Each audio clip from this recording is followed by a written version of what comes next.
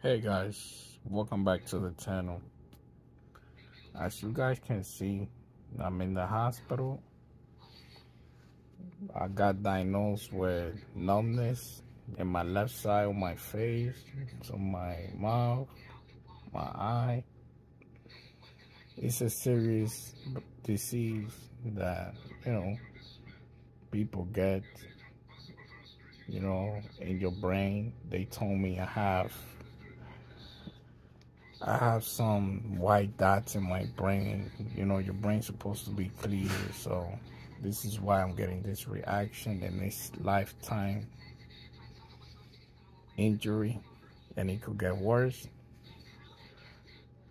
So I'm telling you guys, you know, if you guys got symptoms like this, make sure you check yourself because more dots go in your brain and your body be numb for life and you'll be even worse. So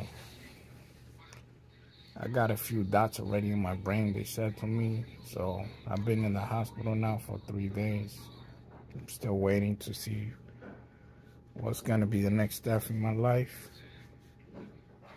So make sure if you ever got numb in your face and, you know, a painful side of your left side, go check yourself.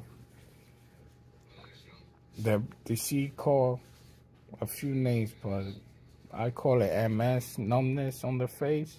If you want to know more about this disease, but it's a different different names for it. For MS, numbness, they will come out.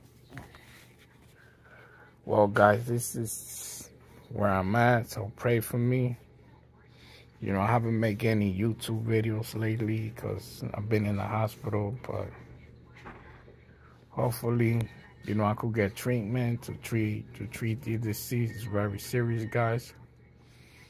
And you know everybody i hope everybody's doing well and enjoy your day halloween you know all that with your kids.